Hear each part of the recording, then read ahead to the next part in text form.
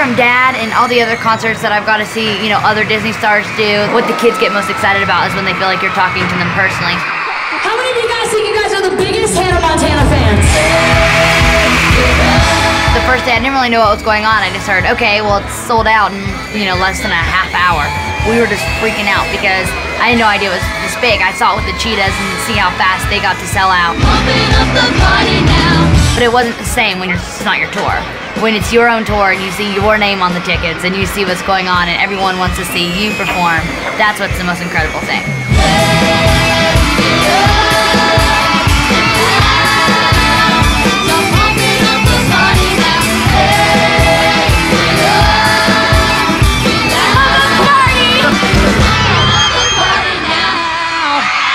I think some people don't, you know, because they don't get to see all the behind the stage and um, they don't see what everyone does. They don't get to see the chance that it's not just me. It's everyone that has to put in all the hard work, like the crew and the band. And you know, this band they play for, you know, not just me. They play for a lot of other artists. So they have so many songs built up in their head, and to go out in there and memorize it. Also, it gets hard with the Hannah and Miley when I have to memorize, you know, both songs. And I think people don't really get how hard it is.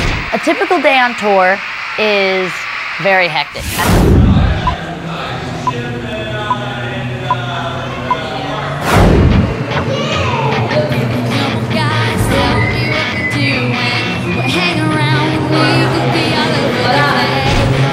It's really fun to have the opportunity to show my fans, you know, backstage. They get to see how much work and fun there is. They get to see me, you know, getting ready from Hannah to Miley, and they kind of get to see behind the stage, which I think that helps the kids understand. Okie dokie, let me show you around the stage. Let me show you back. I'll show you. This is underneath the stage. This is where the dancers get ready. Then I go under here. And straight back there, I ride in my wheelchair all the way underneath. Where if you look at that little box, that's where I go up in the elevator, which is pretty cool because I sit in that little floor and I rise up. Come back here. I'll show you my dressing room. When we're all set up, all my makeup and hair stuff is set here all right here. This entire thing is filled with wardrobe, and I've got a minute to get ready.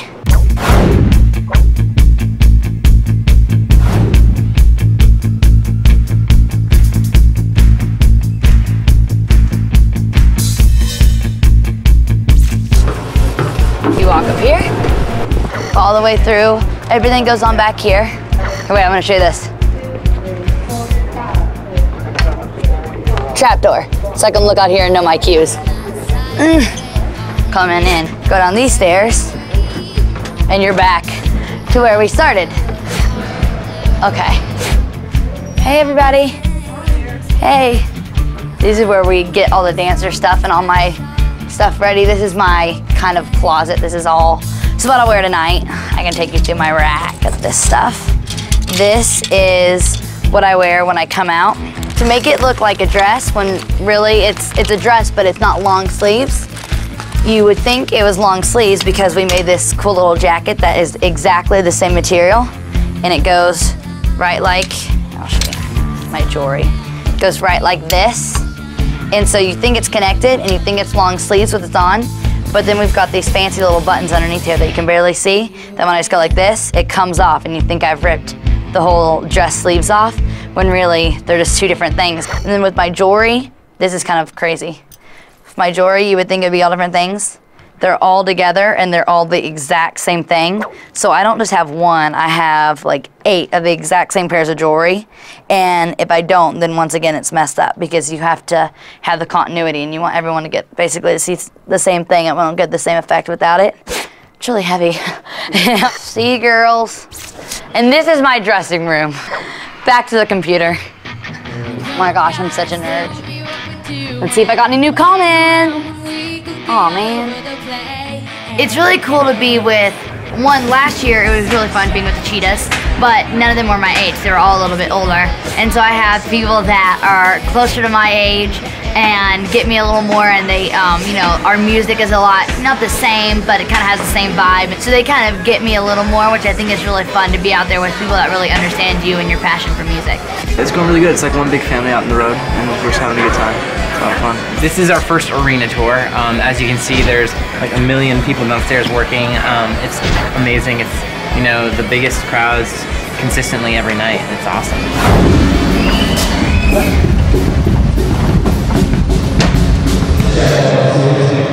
So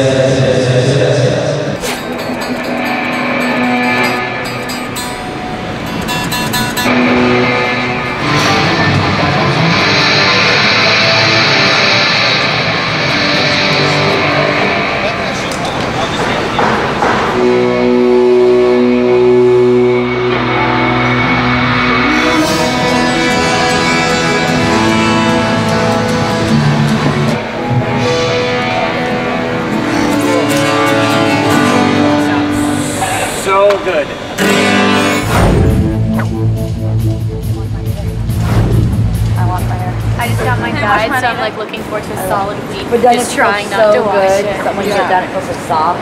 So, I know your like hair your is shirt. beautiful. It's so shiny. Read that for me. Read it. Flying, give it a couple more rainbow cute. Where'd you get your black moccasins? Join us. I'm ready. What are we doing? Is it called Kings? Yeah. That's where I got mine. Yep, they're they're closing. They're having an 80% sale off. Off sale, whatever it is. Shut up. You know what? I'm gonna bite you. Oh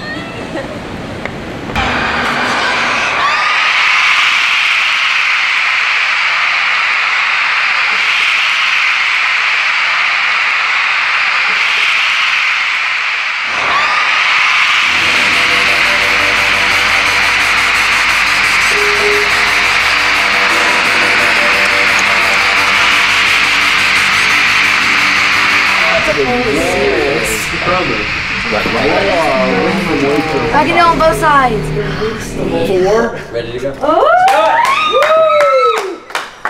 Hey guys, Miley is in her dressing room right now. She's actually on what we call lockdown about 30 minutes before the show. She's warming up her voice and getting her makeup put on and the Hannah wig put on and then she's gonna come out here and the band and dancers and my family and we all come out here and we circle up and we have what we call pop off and we all pray together and we just get pumped for the show. So it's gonna be really great and she's getting ready to come out and then she's gonna go rock this arena. It's gonna be great.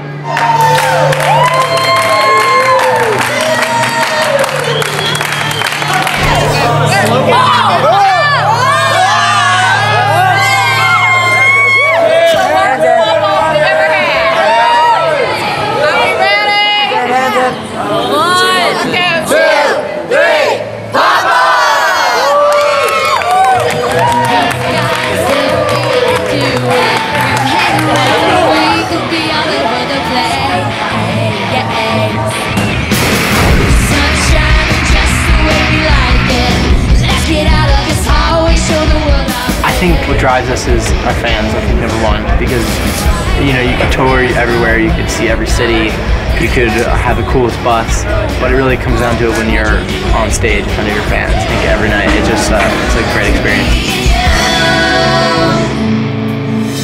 So, welcome to our green room. Uh, between sets, we have two different times we actually come back here. But um, we actually got this thing made for us. It's right here. It's our entertainment system. It has all different game systems, plasma screen TV, a huge sound system. All our wardrobe cases roll into our over here. Each one of us has one of this. This is mine. Theirs are out there. Right. Um, couches, food. couch. We have pillows.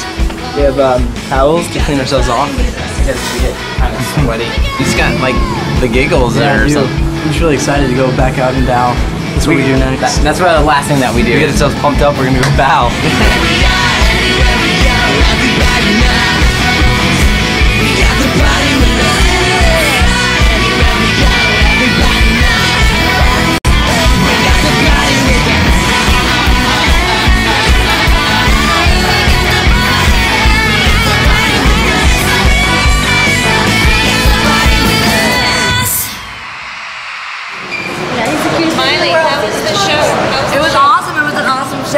really well. It could be one of our best ones ever.